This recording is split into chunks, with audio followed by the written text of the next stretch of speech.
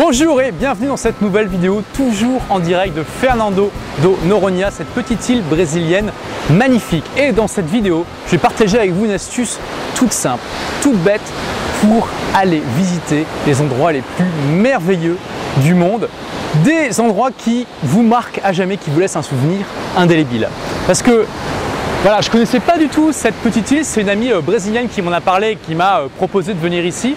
Et je peux vous dire que je suis vraiment vraiment euh, très heureux d'avoir accepté parce que j'ai découvert un véritable joyau.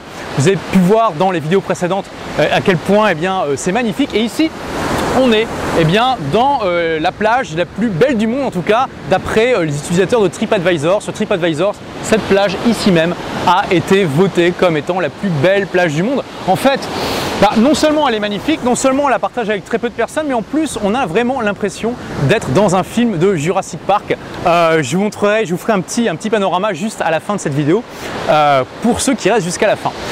Et voilà, c'est tellement incroyable finalement euh, ce petit joyau. Les trois quarts de l'île sont un, parc naturel. Euh, il y a des tas d'animaux, des tortues, des oiseaux, des poissons, euh, des choses incroyables. Les, Brésiliens font vraiment un travail extraordinaire ici. Et il y a des plages absolument extraordinaires qui, qui sont quasiment désertes. si vous voulez voir quelques-unes des photos que euh, j'ai fait, un des photos que j'ai sélectionnées parmi les plus belles que j'ai faites ici, eh bien euh, pour la toute première fois, vous pouvez aller voir sur mon compte Instagram. Hein, c'est la première fois que je parle publiquement de mon compte Instagram. Donc vous pouvez y aller en cliquant sur le lien qui apparaît en bas de la vidéo ou le lien dans la description. Euh, et puis bah ça me fera plaisir si vous allez voir un petit peu les photos que j'ai fait et puis commenter. en tout cas, c'est vraiment un endroit que je vous recommande fortement. Alors, quelle est cette astuce toute bête, toute simple pour savoir quels sont les endroits les plus incroyables du monde, ceux qui vont vous laisser un souvenir à tout jamais? Eh bien, c'est simple. Vous allez sur le site de l'UNESCO et vous regardez les sites qui sont classés patrimoine mondial de l'UNESCO. Je vous ai mis également le lien dans la description.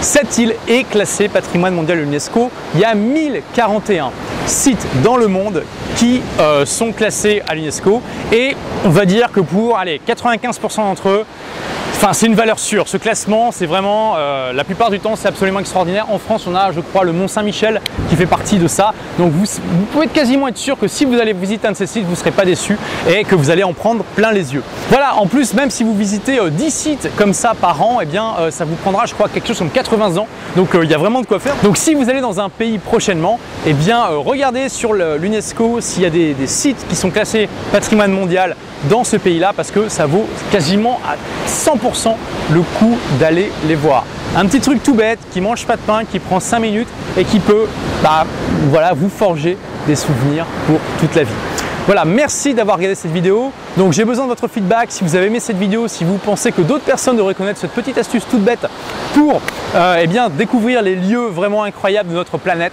eh bien cliquez sur j'aime juste en dessous cette vidéo et puis partagez-la. N'oubliez pas aussi d'aller voir mon compte Instagram pour eh bien, me dire ce que vous pensez des photos que j'ai prises de cet endroit en cliquant sur le lien qui apparaît là dans la vidéo ou bien le lien dans la description si vous êtes sur un mobile.